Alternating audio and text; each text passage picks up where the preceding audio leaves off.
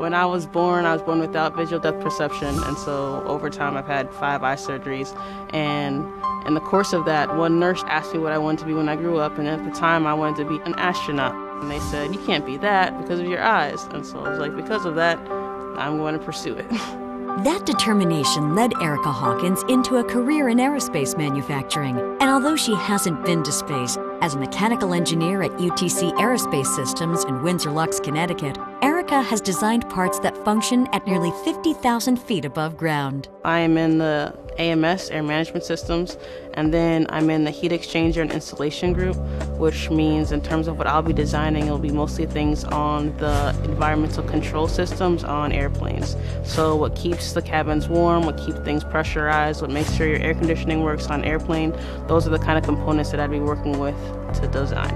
UTC Aerospace Systems is also a global supplier of industrial parts and is the prime contractor for NASA's spacesuit life support system. They do a very good job of merging design and manufacturing because on the manufacturing floor you see the implementation and the creation of what you're actually doing. The manufacturing engineer is essentially what gives life to the ideas that the design engineers come up with.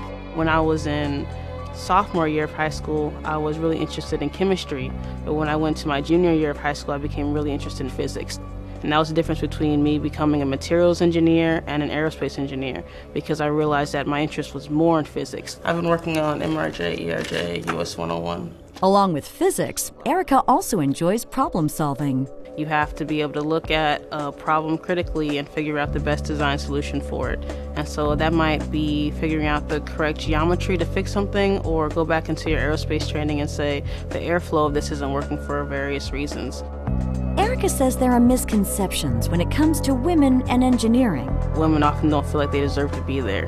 Because when you look into engineering fields, you don't see a lot of people that look like you. But women in engineering really need to just press on. Even if you feel like you're failing, it doesn't mean you don't belong there. It's just that everyone has challenges and difficulties along the way.